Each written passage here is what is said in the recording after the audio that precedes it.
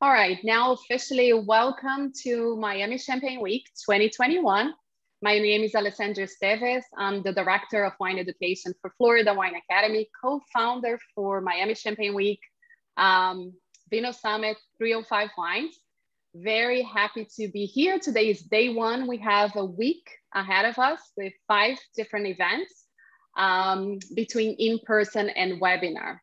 Um, so Miami Champagne Week is completely sold out for this year, but uh, this webinar will be recorded. And so you have the chance to watch it again uh, if needed. And behind me, I have Verzenay, which is one of the Grand Crus in Montagne de Reims.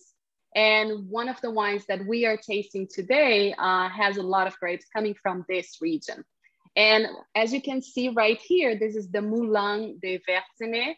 So the windmill, um, and this is south of France, really beautiful region. So I wish I was in Champagne today. I'm just at home, uh, just like you guys, but you know, that's uh, the beauty of Zoom webinars um, can connect us to, to everybody. And um, for the first day and to kick off Miami Champagne Week 2021, we have Essi Avellan, Master of Wine. So Essi is Finland's first master of wine. She's a champagne and sparkling wine expert and author of several books, including Essi Avellan's Champagne. If you can see in here, oh, sorry. Yeah, so um, great book. And she's also the organizer of Grand Champagne Helsinki, which will take place May 2022. So put that date on the calendar. And um, Essi has been a guest last year for Miami Champagne Week. We did one event with Ruinart discussing Blanc de Blanc. It was a huge success. I'm really excited to have Essi this year talking about vintage.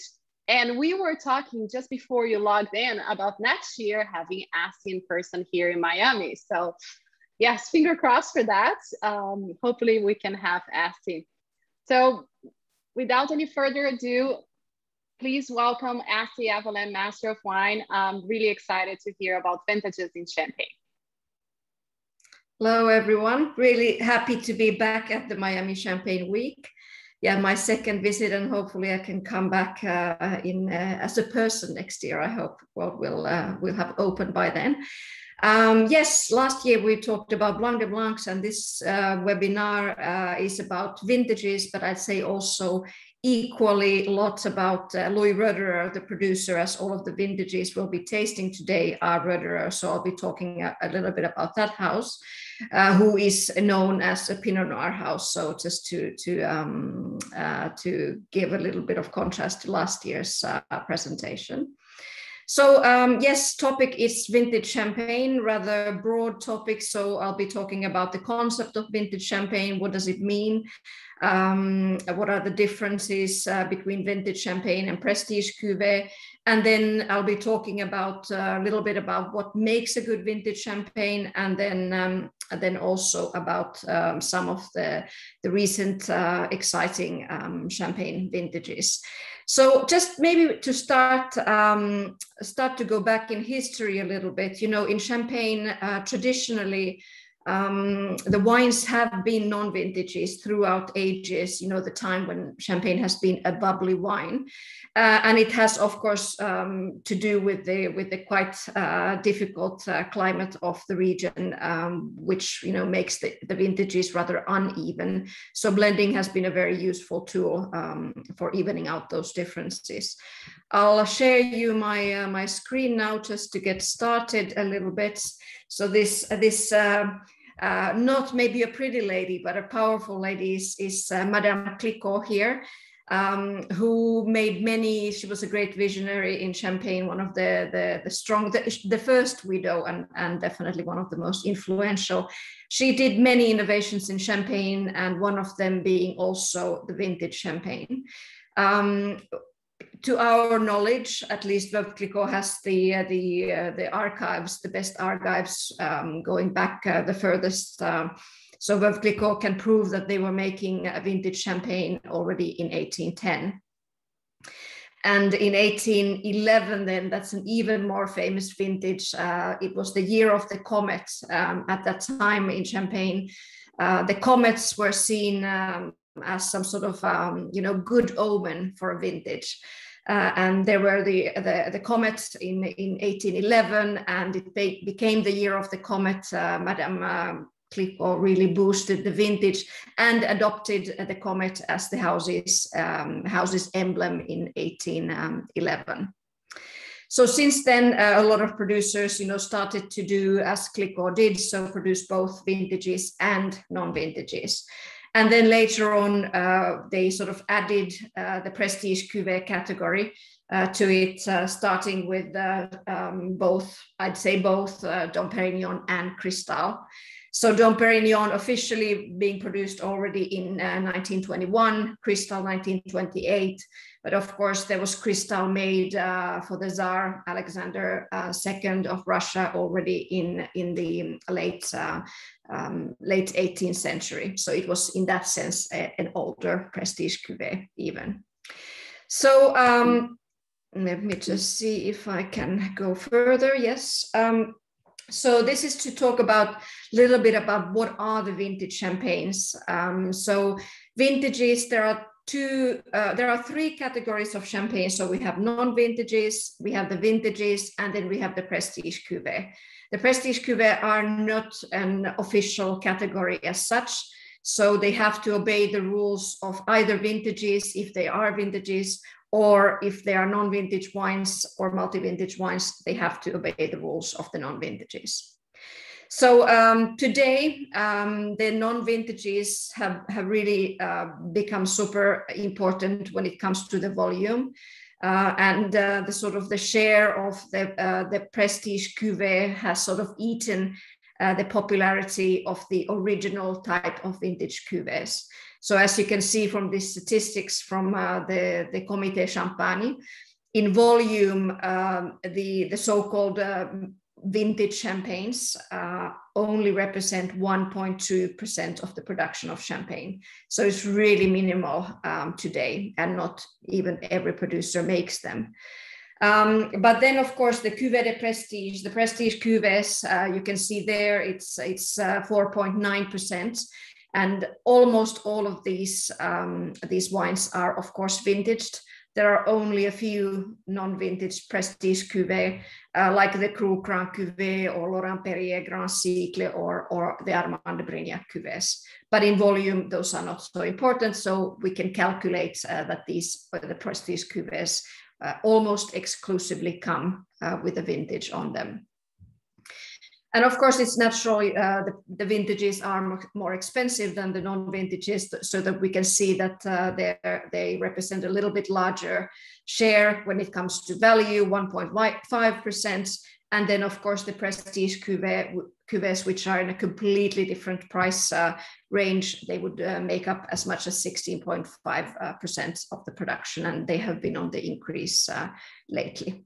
So we can we can say that six percent uh, of the production is, is has a vintage on it, and eighteen percent um, uh, in value when we measure in value.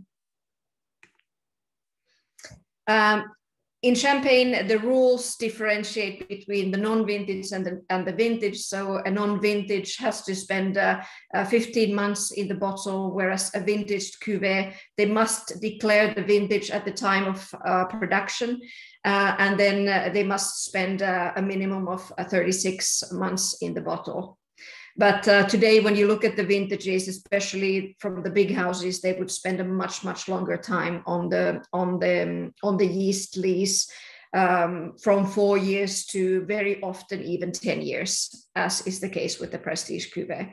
So in general, there's a huge difference in style when it comes to the the so-called non-vintages and vintages because of the longer aging. The, these wines are much more intense um, and uh, they have much more of these these toasty, biscuity, rich um, um, flavors from the yeast um, aging uh, naturally. In Champagne, even if the EU laws, uh, you know, um, say that you can have some other vintage wines blended in it, but Champagne is very strict uh, in its uh, rules, and and 100% of the wine must come uh, then from the vintage stated on the label. But this there is one little uh, little exception, and it is the the wine that we use for the dosage. Uh, the sweetening uh, component, uh, which can be any wine of champagne. So it's not really restricted to this uh, particular um, vintage. This would represent usually like one, one to one and a half centiliters uh, from the volume of the bottle. So it's not a lot, but you know it still has some some sort of a meaning for for the wine. So what does it mean? What is a vintage then in champagne? Uh, why should uh, should you buy it? Who buys the vintages? Um, I'd like to sort of uh, describe it as, as the wine lovers uh, category, um, because in general in champagne we, or at least historically, they always made uh, vintages just from the very good years.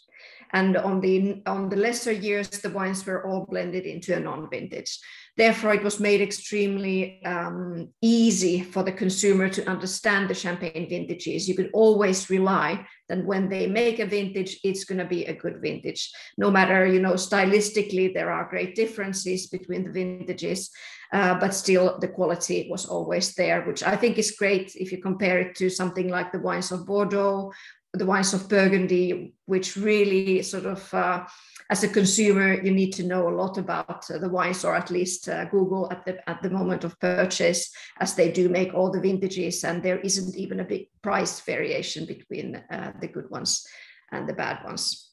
So that's I think has been one of the fortes of champagne. They've really taken the consumer into into consideration that uh, trying to make uh, buying champagne uh, quite um, quite easy. So yes, the styles vary. So when the when the producer makes the vintage champagne, they actually quite enjoy usually making them because um, uh, they have a lot of uh, you know artistic freedom when they craft the vintage champagnes because you know you saw from the figures commercially they are not the crucial wines. Uh, so um, and there is no pressure for consistency. Actually, they don't want to go for the consistency. They really want to go for the wines that are most expressive for the year in question. So therefore, it's something for a wine lover who maybe is more interested in understanding a region, following its vintages. Um, say that there is this little bit of a, more of an intellectual um, intellectual approach into the vintages and following their their um, development. So today in Champagne, the, the situation is quite unusual because of the warming climate. Uh, you know, they can make vintage champagne almost every year if you think before, still in the 1970s, it was rather typical that uh, they would make a maximum of three vintages in a decade. But now it's more like they make eight vintages in a decade. And I remember discussing with the with the previous cellar master of Dom Perignon, Richard Geoffroy, and he uh, he dreamed of making uh, 10, uh, uh 10 Dom Perignons in a decade um, because um, he he thought that you know it's a challenge, of course, for them as a company and as winemakers uh, to make um, make a vintage even in a in a more challenging year. But also, he said that um, that um, um it's uh, it's people are now much more ready to um, uh, to um, understand the different vintages and experiment and uh, he said that he doesn't mind if uh, you know everybody loves the 2003 or not but it's a great thing that people are more interested in champagne and ready and and um, eager to to try its different um, vintages.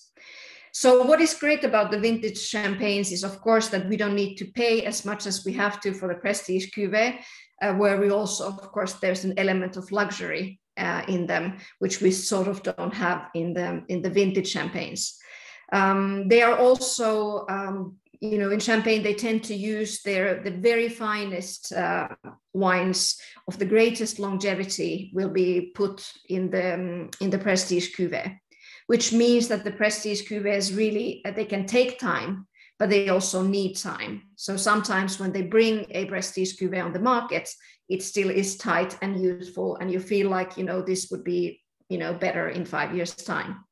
But the vin- with vintages, it you know very seldom is the case.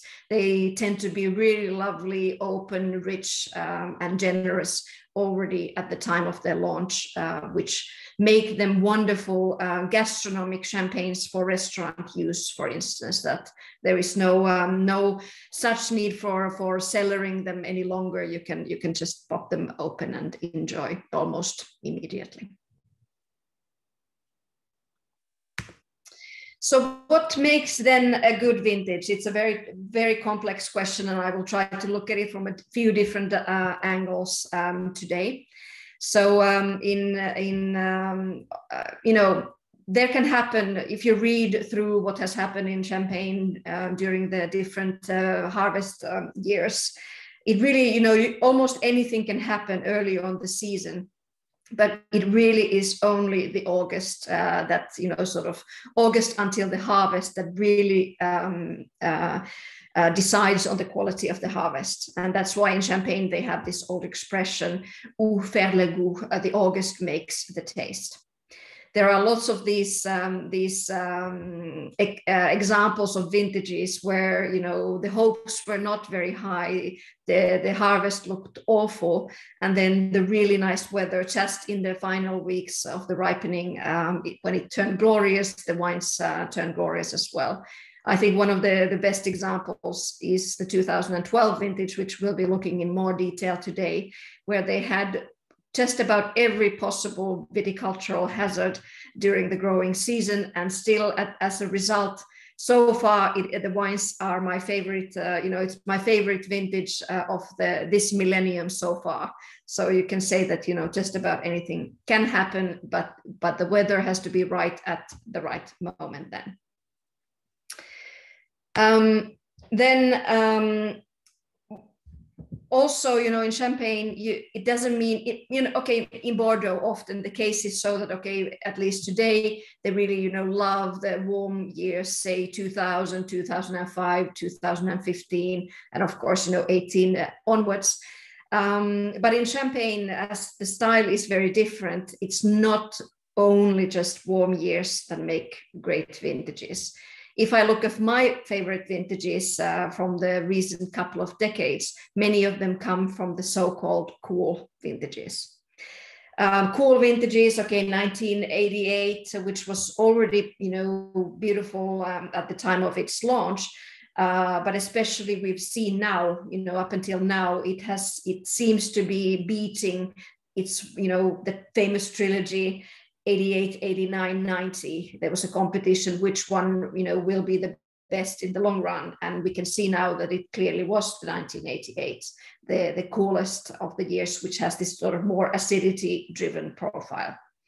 The 2008 is very much of a super cool year with really these wines. The the, the acidic uh, backbone is is the key to these wines. And uh, uh, the 13 is of a similar um, uh, style, but there's a little bit more of, of sort of gravitas to those wines uh, than in the 2008. But then we have also wonderful examples of warm vintages uh, already, you know, 45, 47, 49, uh, a lot of warm years from the 60s, 61. Uh, we have the 76, 89, which has held much better than the 1990. Uh, 2002, and we'll, we'll have to see how the wines of 2019 are, but at least it looks super um, promising so far. So we can't really uh, generalize um, on, uh, on these. Uh, there are lots of other um, elements that come to play. It's not just about the, the profile. Uh, but I'd say that it's a lot about a question of personal preference now, because we can have uh, a lot of these cool profile years and we can have these warm profile years. I said earlier that I love the cool profile myself, but in this uh, the first 20 years of this um, uh, this century, we've seen a lot and a lot of these warm profile years, which are much richer, more more um, generous, more wide, more vinous, uh, and they are not they don't come with the raciness or sort of electric nature of, of some of the cooler champagne years. So we have vintage years like 2000, 2002, 3, 5, 6, 9. Um, and then there was a little cooler spell in between, but then we had the 18, 19, and 12, 20. all of which are like very, very warm uh, profile years. And time will tell if you know this looks to be the new new style of champagne or not. I see. Just before you move on, uh, we have two questions in here. So one, um, if cool years are better for Chardonnay and, and warm years better for red grapes. And then we have um, a question about the dosage wine from the same vintage. So if you want to uh, reply first for the cool years, better for Chardonnay and warm, better for red grapes, what do you think? Uh, Yes, I mean, um, in Champagne, some of the winemakers like to say that every year is a Chardonnay year. So Chardonnay is the much easier variety to, to produce in Champagne. Uh, and you're quite right that in some of the cool years, it really does well. And Pinot loves, of course, much more, more, more heat and, and this sort of rich and, and muscular profile. Uh, but I'd say that even more important than, than the temperature is the, the, the, the health of the grapes. Um, the Pinot Noir is the one that suffers most, uh, obviously, from the rot uh, rot problem, and this would often be the the problem of the cooler uh, years if they happen to be humid at the same time. So that that that's the reason why you know we I'd say that we have less Pinot Noir years than we have um, Chardonnay years in Champagne. What was the other question about the the the dosage? Yes. Um, so I think most people didn't know the concept about the dosage coming from any other vintage, uh, which was very interesting.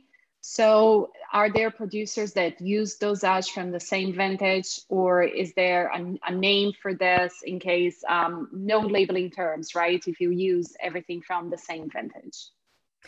No, not really. It's something uh, not, you know, even if you have a very, very detailed technical uh, details of each wine, you hardly ever see uh, the dosage wine mentioned. As I said, it's such a small amount of wine um, in the in the whole wine that uh, it's not usually uh, expressed, uh, you know, what it is every house have their own um, own um, philosophy for doing it.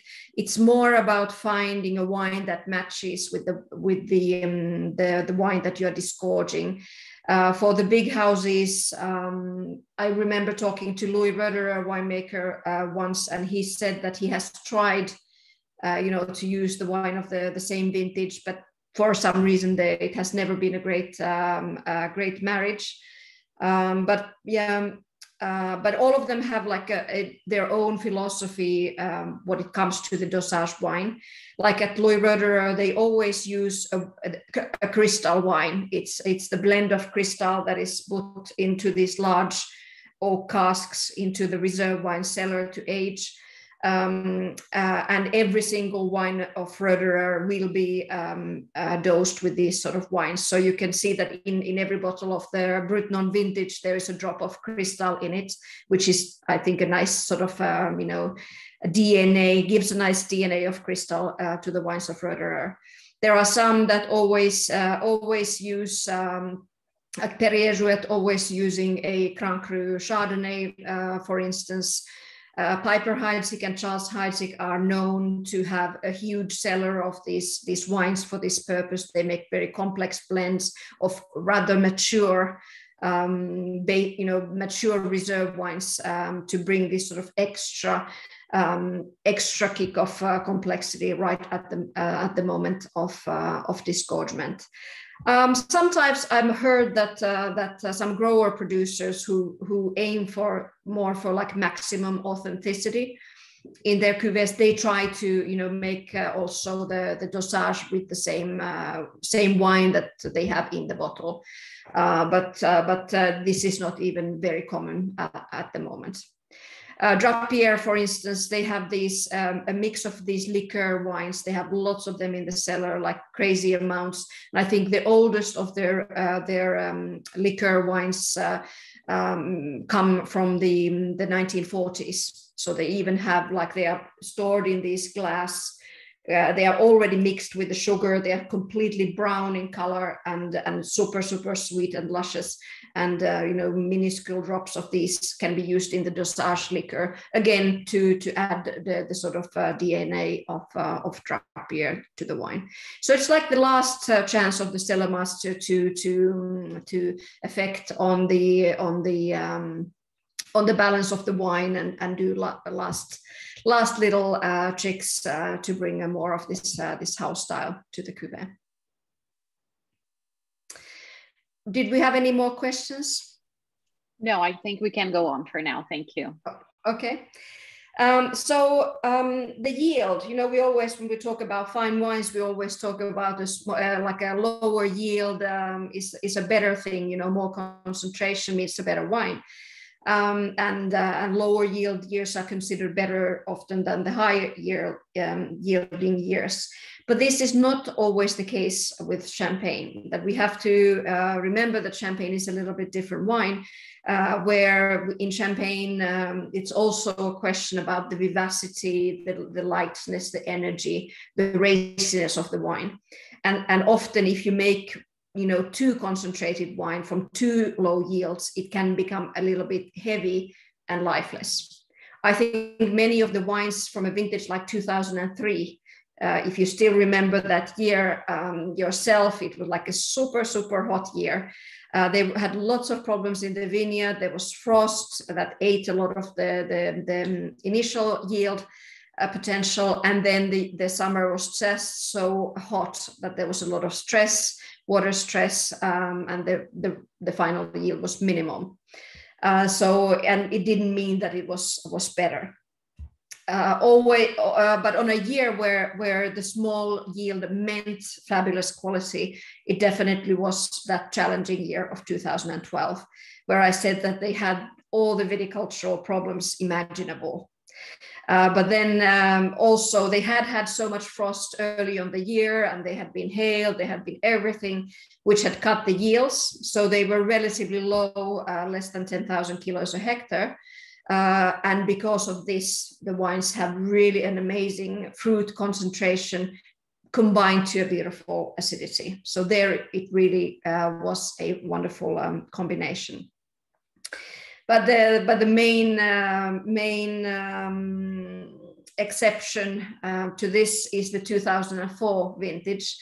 Uh, which was a very particular year uh, because it followed uh, the, the super ripe, uh, very low yielding 2003. So there was just so much energy, you know, kept in the in the vines from the year before because they produced nothing uh, that there was the vines just went completely crazy.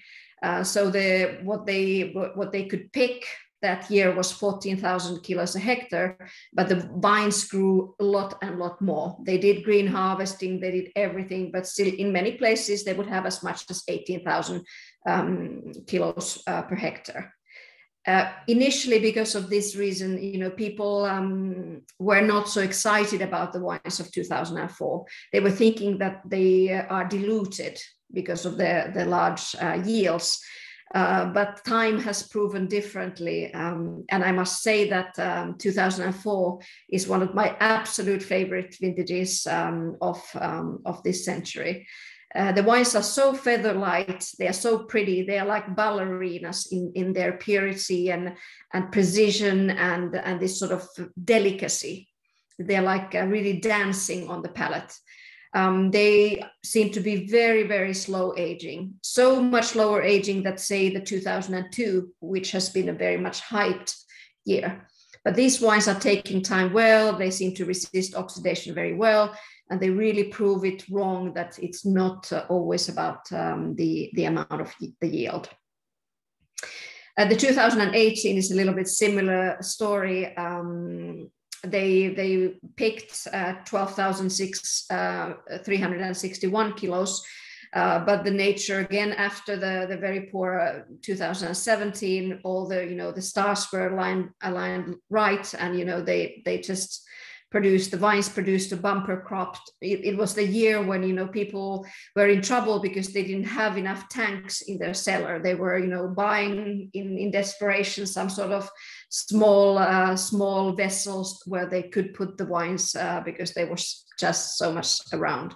And the same thing that you know the vines just produce uh, it could be easily 16000 to 19000 uh, kilos per hectare hanging on the vines and that's the paradox of champagne that you have this amazing quality on the vines but you can't pick it um, because um, of, of the rules um, of the appellation.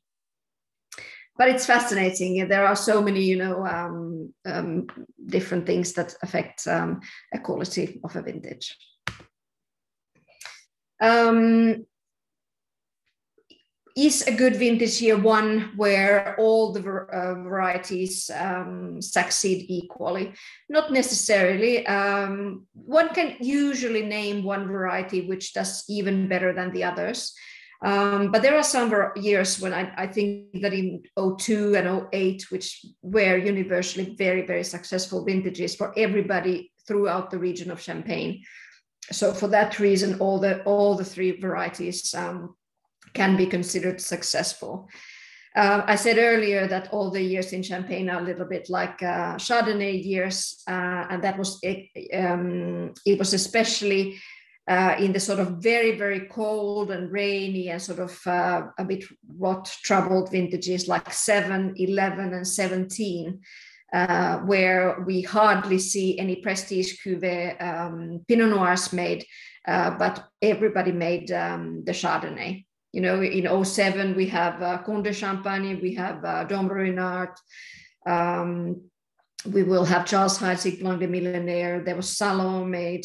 In 11, uh, not many of them were made, but Taittinger just released their Comte de Champagne in 2011.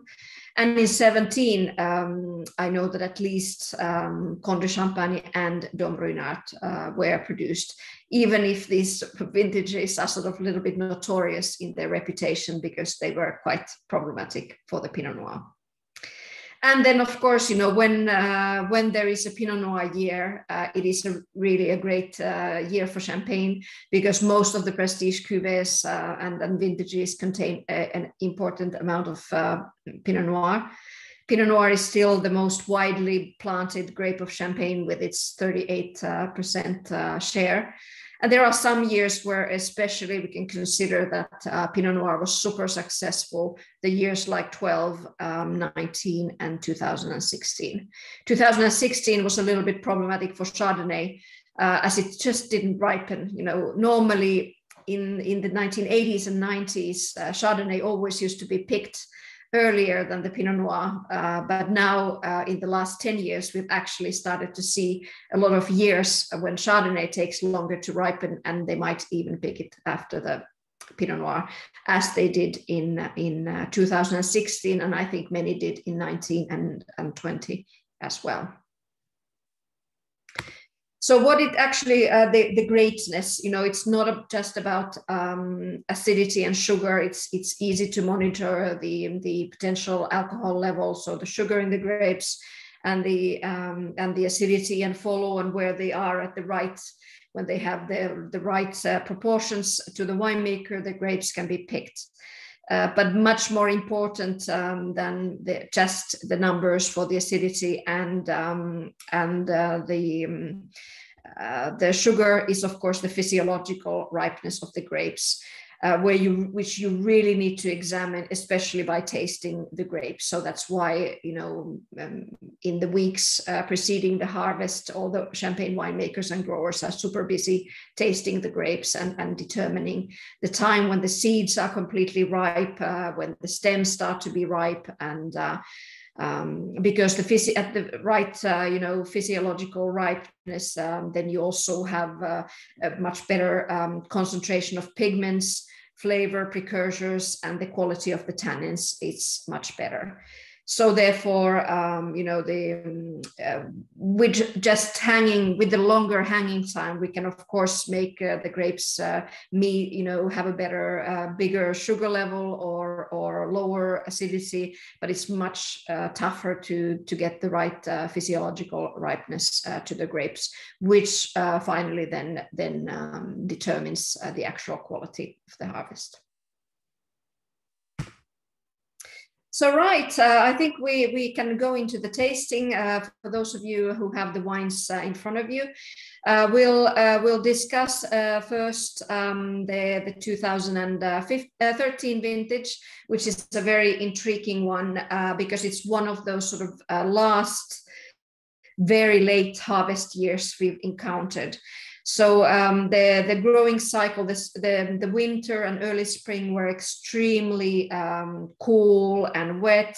So the, the vines really started to, to, um, um to grow very late.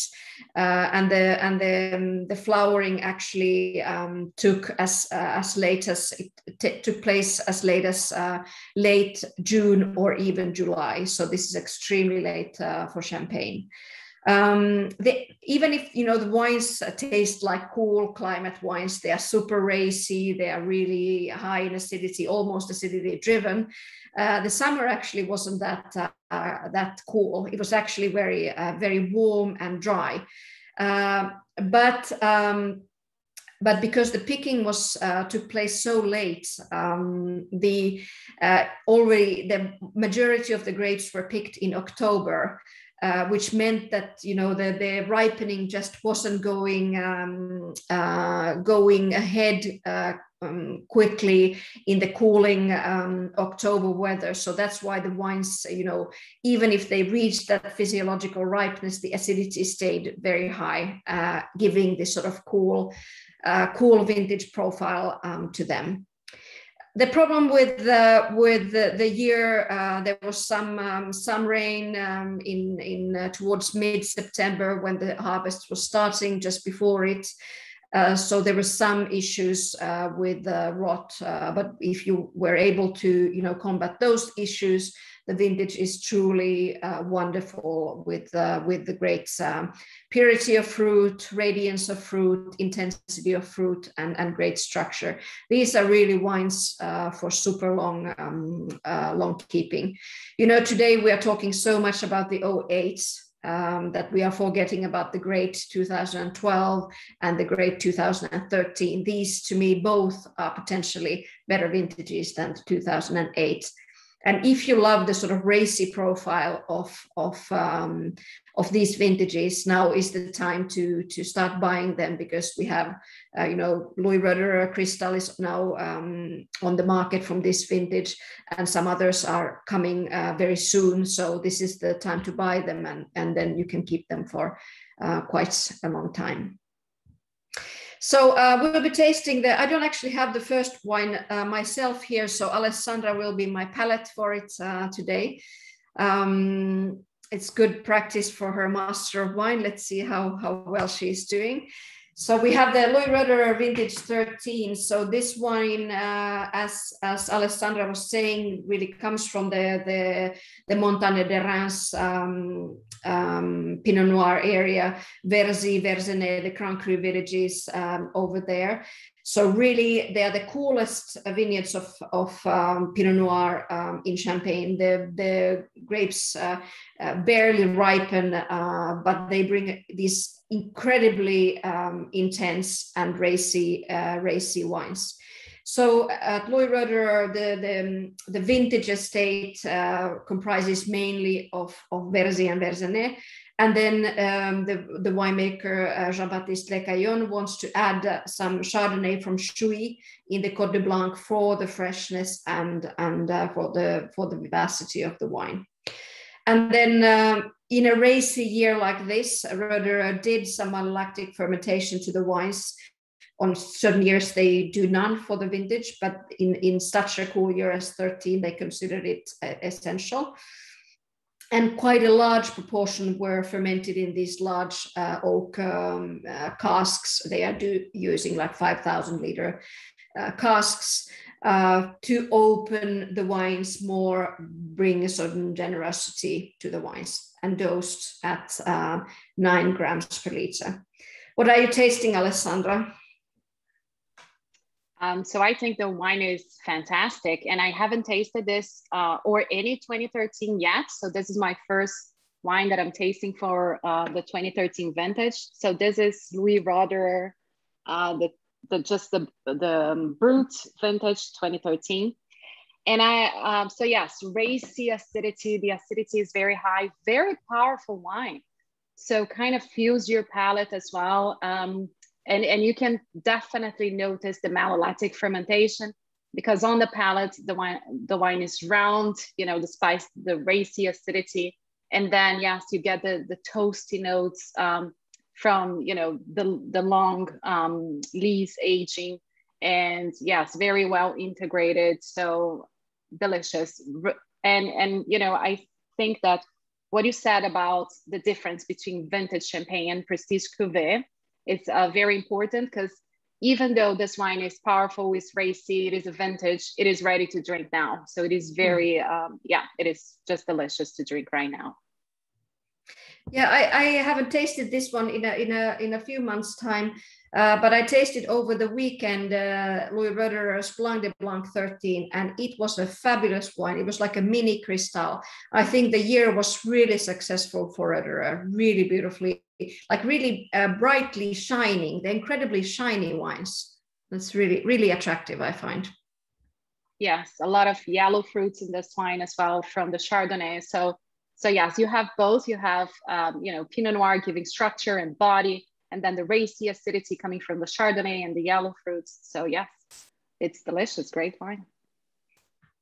Yes, so Louis Roederer, um, um, they um, they own themselves 240 something hectares of vineyards in in Champagne, and most of them really are in premium locations. You know, it was already the Louis Roederer, the first who purchased uh, 100, an incredible 100 hectares estate um, uh, in a time where nobody else was uh, of the houses was interested in buying vineyards because the grapes were much uh, you know obviously cheaper and easier to to purchase but where he really wanted to go was to go to the what are today known as the Grand Cru villages, and especially invest in the best uh, mid-slope uh, positions. So that's why Louis Roederer especially has a huge estate in Verzy and Verzenay, uh, which form the backbone of both uh, of the vintage and the Cristal. So today the uh, the, the the the vines uh, the, the all the wines always come from certain estates so every year they come from the same places. So it's quite unique in Champagne for a Champagne house to be so terroir oriented uh, with their wines that every year the origin is exactly um, the same. Uh, so there is uh, there's a Cristal estate, there's a Cristal Rosé estate, uh, there is a, a uh, Brut Nature estate, uh, there is the Rosé estate, Blanc de Blanc estate, and then the vintage estates. So um, so Roederer only buys grapes for their non-vintage champagne, which is now called collection. Um, you know since since the last few months when they introduced the new new baby.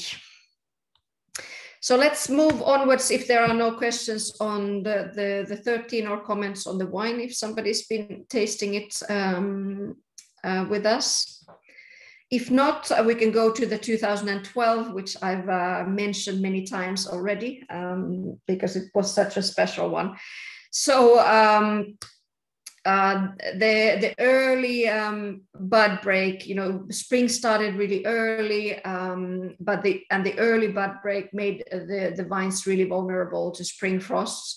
So there were a lot of uh, um, localized uh, spring frost um, problems.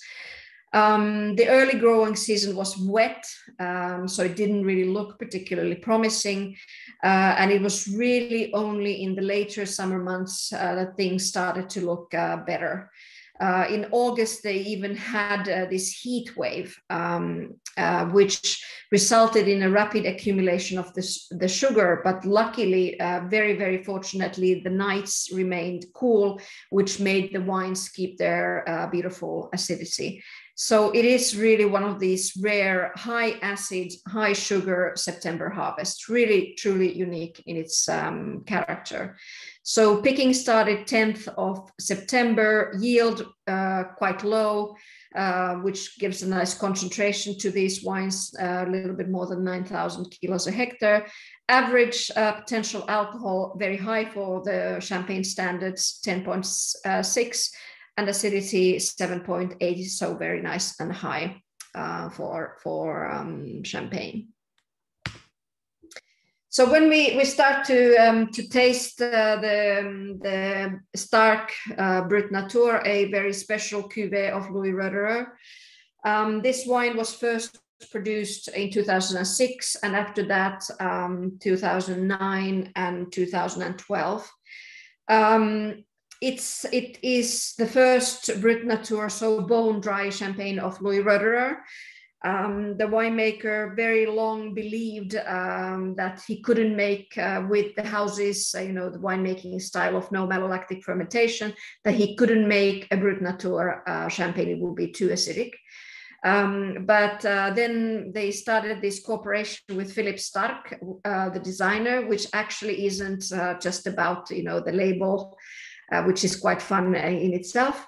But he really uh, did a lot of uh, input into the philosophy of this wine because he's really into natural wines and biodynamic things and and um, no sugar and that sort of things. So it was given us as a little bit as a challenge to the winemaking team that what could they um, do in a little bit in the spirit um, that uh, Philip Starck wanted.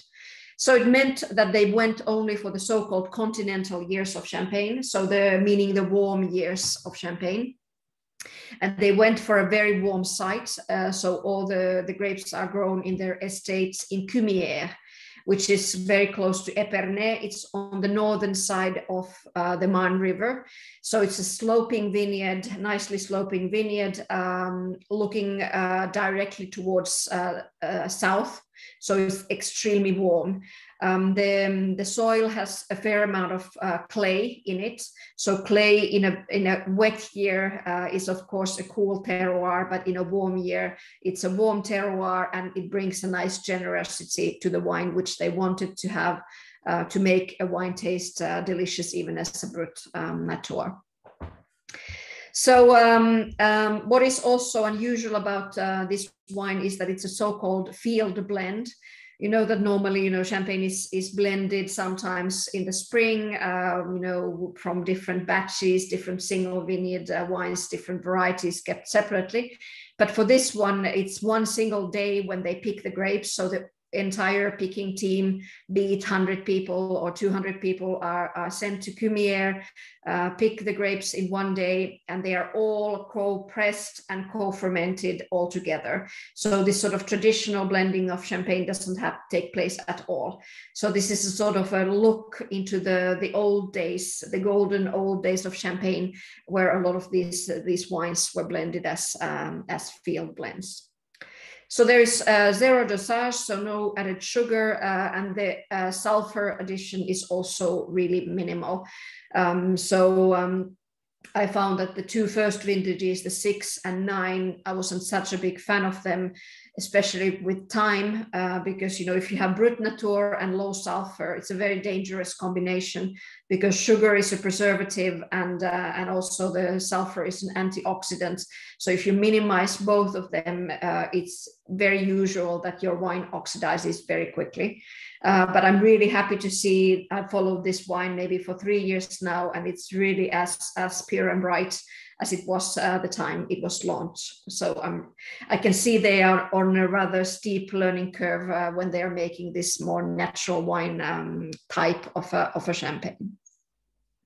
So the, for this one, as it is a really, you know, quite a, a warm uh, year with, with a lot of generosity built into the wine, uh, there is no malolactic fermentation performed um, to it.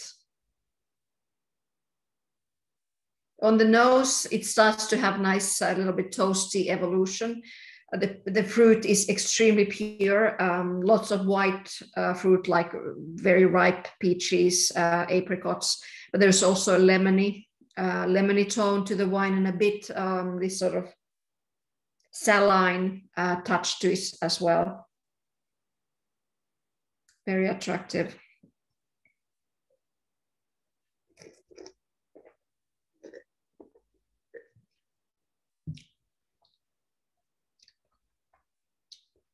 There is good width, roundness, body on the palate. But when you swallow it, uh, then comes the kick of the acidity, which really leaves the palate super clean um, and um, and sort of um, pure, and it and it wants you to you know makes you want to have the next next sip immediately, which is also a good uh, uh, sort of uh, asset of a good wine. You want to drink it. Um, Heather is also drinking the wine. So she says she's very surprised with the taste. She's not a fan of bone dry champagne, but she finds this one delicious. Yeah, yeah, but that's that's you know a lot of effort has been as as I explained has been made. You know, a lot of consideration, a lot of effort has has been made um, uh, in favor of this wine so that it can be this pleasant uh, and uh, and balanced and generous and drinkable uh, even bone dry. I think it's um, i'm not i'm personally i'm not a fan of the trend today that we have more and more brut nature champagnes. I'm not interested about uh, the amount of sugar in the wines. I'm just interested in the balance of the wine. But so very few of the brut natures that we have on the market actually have that balance. I find that um, brut natures often, well, they can be bitter, uh, they can be too acidic, and very often what troubles me the most is is they are quite short. The taste is just uh, sort of cut off um, much um, prematurely, and also they often lack that sort of deliciousness factor, which I think is essential in in um, great champagne. But I think now more and more, because we are, you know, making more of them, we're understanding Brut Naturs better, we're getting more and more really good Brut Naturs as well.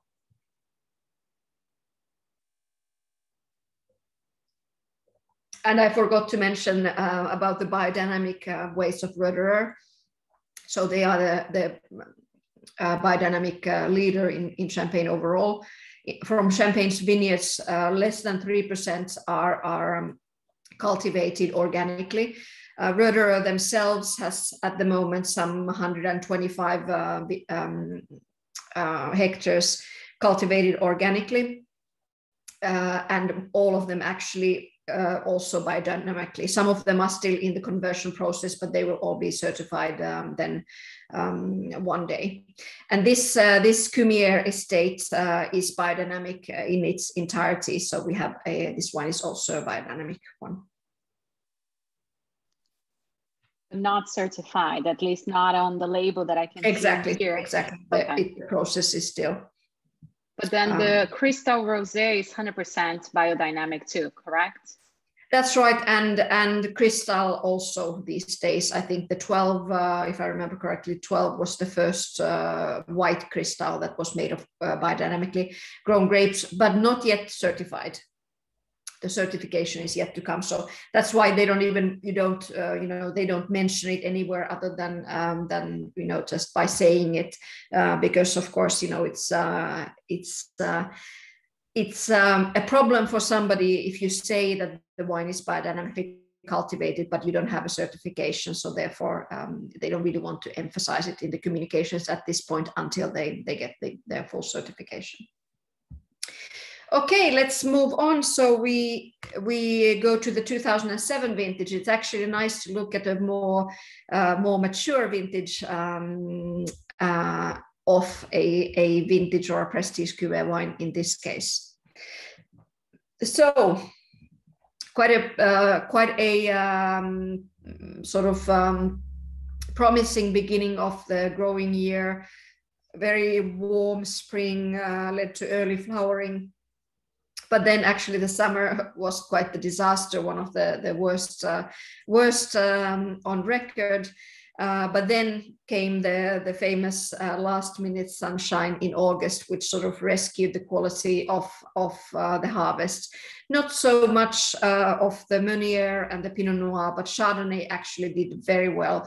And the Chardonnay wines um, of the year um, possess this lovely, cool, cool vintage profile um, to them.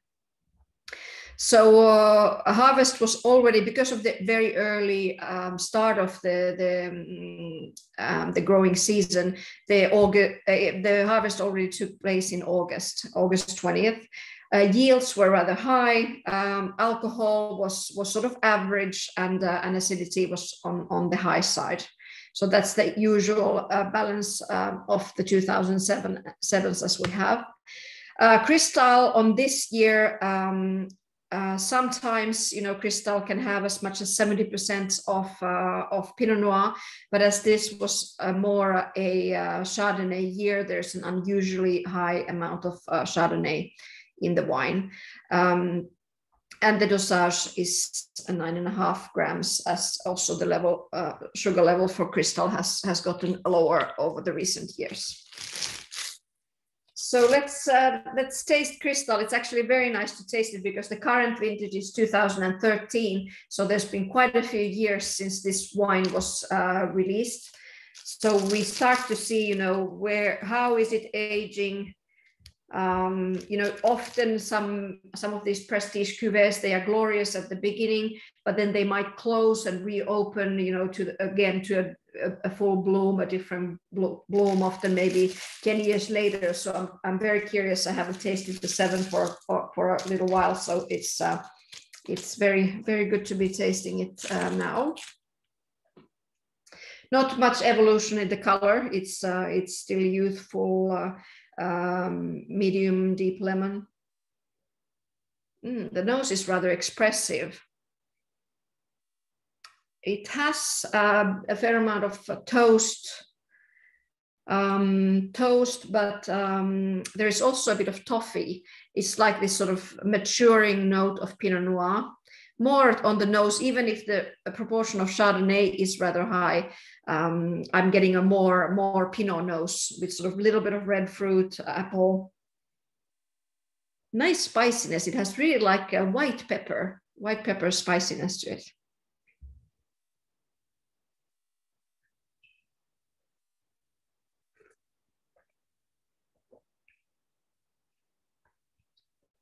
On the palate, it's super crisp, really nice lightness to it, lots of energy, very pure fruit, nice, um, nice uh, juiciness, uh, succulence of the fruit, and long finish. This is actually at a, at a nice moment right now that it hasn't closed. It's actually delicious now it has a lot of you know still super youthful elements but it starts to uh, show more of these uh, complex aromatics uh, from post disgorgement aging.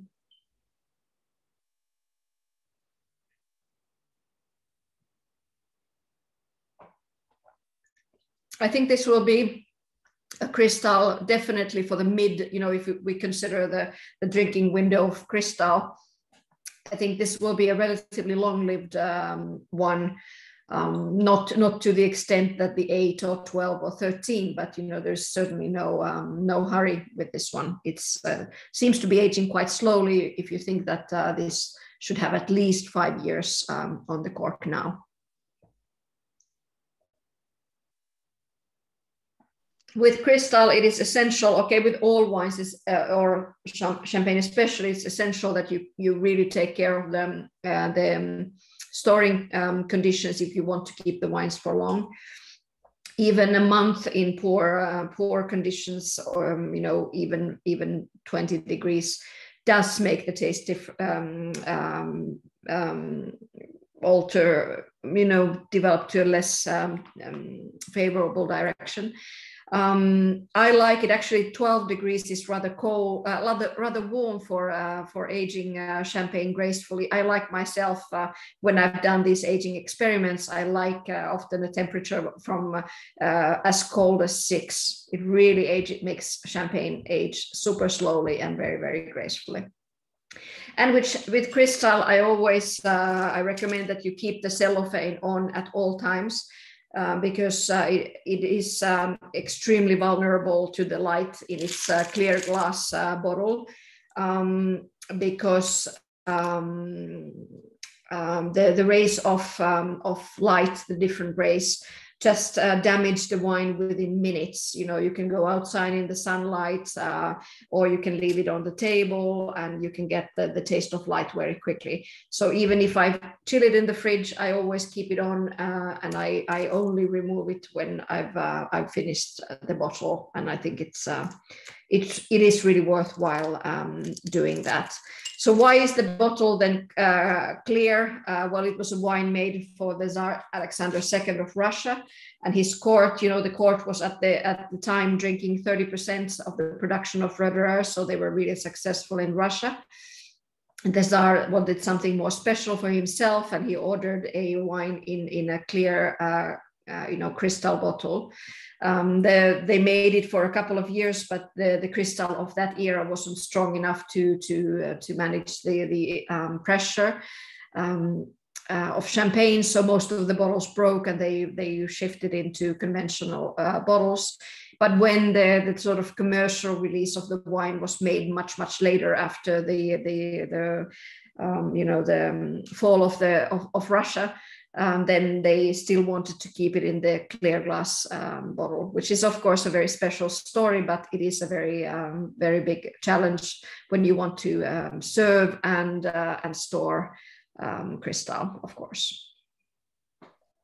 Do we have any any questions? Um, we do have a few questions. So I'll begin with the labels for Cristal. So um, Guilherme was commenting here that some Cristal have a more red label and other ones have a more silver type of label. If this is has to do anything with vintages because i know the internet or google has said um, you know that warm vintages have the redder or more red label and um, cool vintages have the silver label. Have you ever heard about this, or is just I absolutely never heard about that? okay, and I should know if that's the case. I've never actually heard of that. So, in which of, of which vintages are we talking? Recent ones or old ones? Recent ones. Uh, so he's mentioning the 2007 with a red uh, label background and 2008 with a silver background. So, so I guess you know and maybe no, no, no, no. I think the red, the, red must be a Cristal rosé, and then there is the Cristal Vinothèque, which has the silver. Um, oh, that is true. Okay. Yeah. So, I, yeah, I, think probably the, the Vinothèque. Yeah. Okay. Um, then uh, Brenda is asking, how does tasting change as Cristal ages?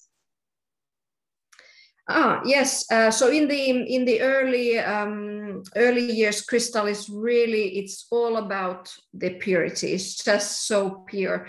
Um, it's uh, I, always call it as the you know the clear blue sky or or crystal clear. It's all about that radiance of of really uh, super clean um, delicious fruit. That is what Cristal is when it's young. But of course, when, when you start to evolve it, you get much more complexity. Uh, Cristal doesn't get super toasty. It gets a little bit toasty, especially on these more reductive um, years like 04.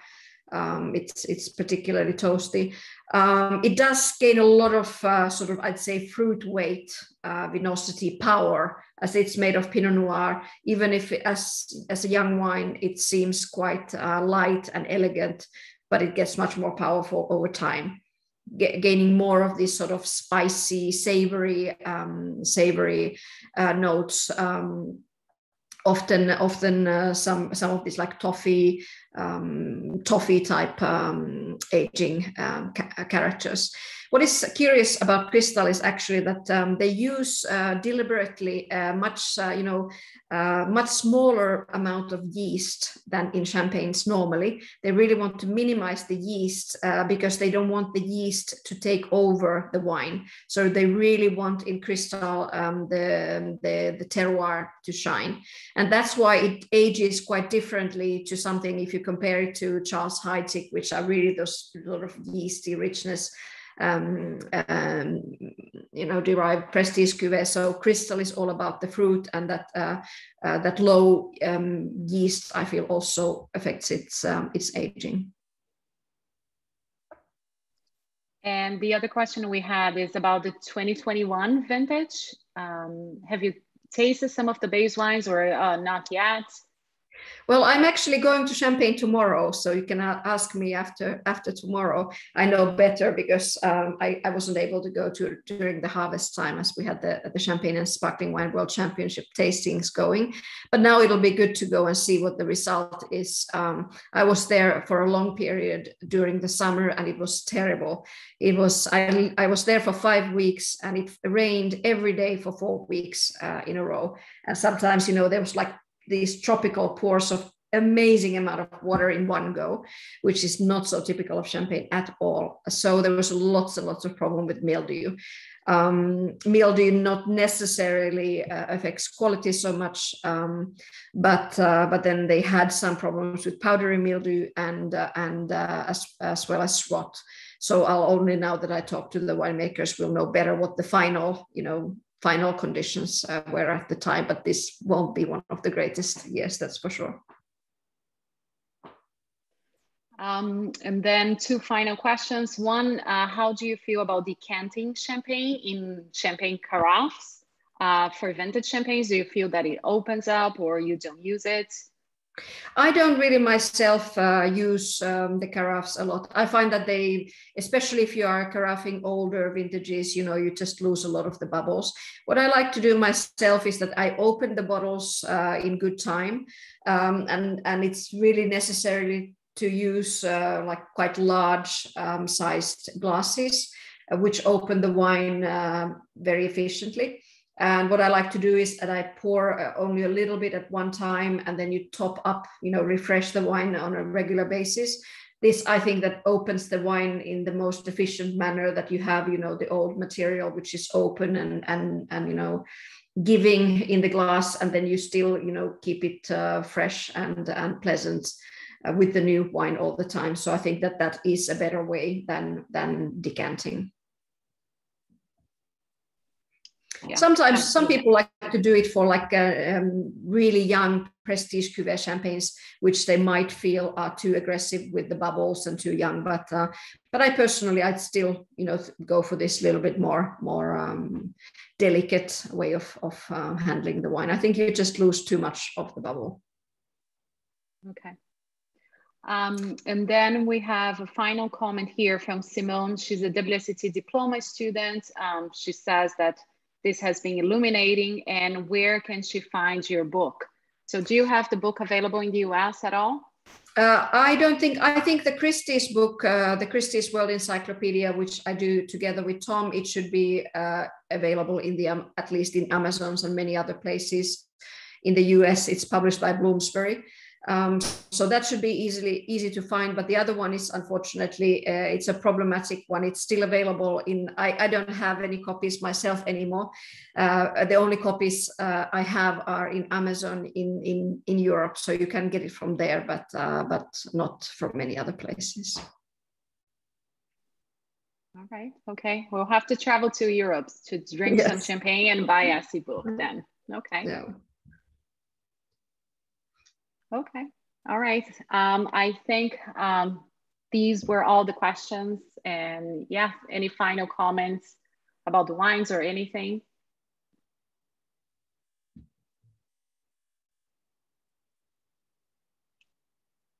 Yeah. Okay. Um, Great. Yeah. Well, I hope it was a good start to the to the Miami Champagne Week. I'm I'm a bit uh, envious that I can't take part in person to the to the events you have um, coming later on this week. In 2022, Essi, we'll make it happen. absolutely, absolutely.